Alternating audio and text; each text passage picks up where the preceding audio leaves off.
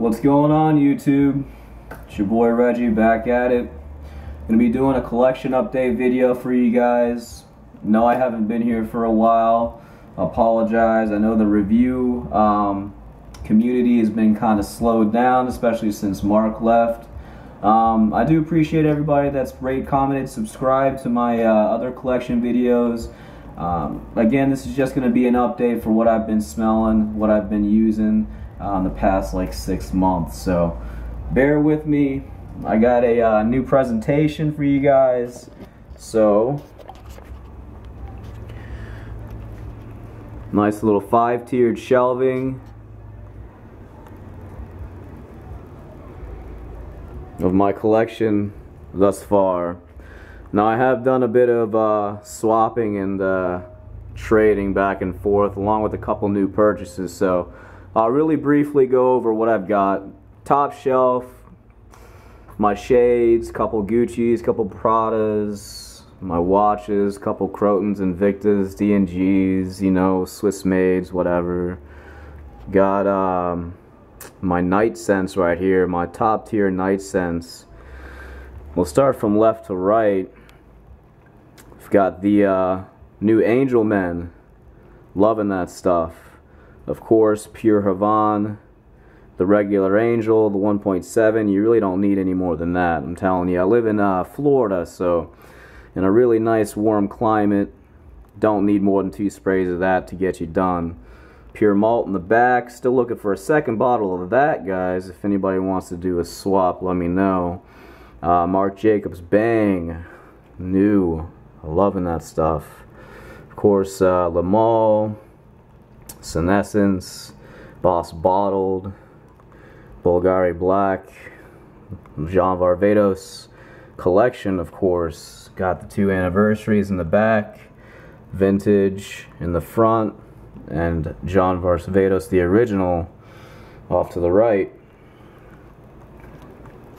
On the bottom tier, I've got Lacoste Essential Sport, Versace Man, Eau Fraîche, Ed Hardy's Love and Luck. I got two bottles of that. Again, guys, if you see bottles in the back, these aren't empties. These are, um, those are extras. That means I either really like it and they only come in a 3.4 or uh, they're going to be discontinued so I got to grab another bottle.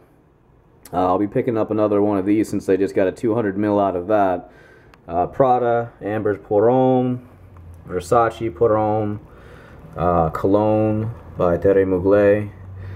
Uh, another one I'm loving right now, the uh, big boy of L'Homme I'm going to get La Nuit de L'Homme, but I live in a warmer climate. Again, I'm in Florida, so had to start off with L'Homme. Great scent, nothing but compliments, very aromatic. Uh, Ed Hardy by Ed Hardy. Uh, Gucci Pour Homme 2. Lacoste Pour Homme. Dolce & Gabbana's The One. Gucci by Gucci Sport. Sean Johns, Unforgivable, uh, Leopard Kenzo, Dolce Gabbana's Light Blue, and my two favorites of my editions, Bulgari Aquamarine and Bulgari Aqua. These two right here are going to be some of the best designer aquatic fragrances I've smelled. I'm very, very happy with these purchases. Um, this is a little bit darker. This is a little bit more wearable. I'd say this is more suit and tie um, for my climate. This is going to be all around. Um, I've got many compliments with both. Um, it does die down on my skin pretty quickly, but both of them are very, very good. I definitely recommend smelling. Alright, next one down. We've got Dirty English. Diesels, Only the Brave, Fuel for Life, Burberry Brit, Lacoste Red, couple Rochas Man chilling off in the back, Diesel Plus Plus, Ed Hardy's Born Wild for men. That actually surprised me. It's a very light scent, but uh, does the job. It's very, very nice. Um, test it before you buy it. Doesn't last that long on my skin, but worth the purchase regardless. Burberry London. Of course, I've got maybe four uses out of this so far. Um, I live in very warm climate, so uh, my winters uh, go down to 50. I think I've got four days of that. I maybe wore it like maybe three days. Paco Rabanne's 1 million. They just came out with a 200 ml, so I don't know whether or not you guys are going to be seeing this for very much longer because uh, you're either going to see a swap or uh, another big bottle sitting behind it. So, um, Blue Sugar, I had to get another one of that. Great stuff. Escada Magnetism. If anybody has another bottle of this, 3.4, let me know. Um, I'm willing to do multiple bottle swaps on my bottom tier. I'm trying to get rid of my bottom tier. Um, looking for that one. Uh, of course, uh, Lolita Lempicka, Eau Masculine, great stuff. Uh, Versace's The Dreamer. I'm going to get another bottle of that, along with Hanae Mori. Uh, that's the de Toilette version. I need to get the uh, Eau de Parfum, so that's next on my, my purchasing lineup. On to the last shelf. Now these ones, guys, if you want to swap or uh, do multiple bottle swaps for anything that you've seen up top, uh, let me know. Or anything that I don't have, like Christian Audigier's uh, right there. By Christian Audigier. Good stuff. I'll pick up another bottle of that. Any one of the ones that you see here I could do multiple bottle swaps as long as there's a decent amount of juice left in them. I've been over most of these already in my last review uh, slash collection video so I'm not going to go over these ones. Got a couple reactions, uh, regular vintage black, DKNY, Be Delicious, Hugo Energize, Azzaro's Chrome, you guys know the rest. Um, I've got a lot of questions and uh, comments wondering how come I haven't delved into the niche crowd yet.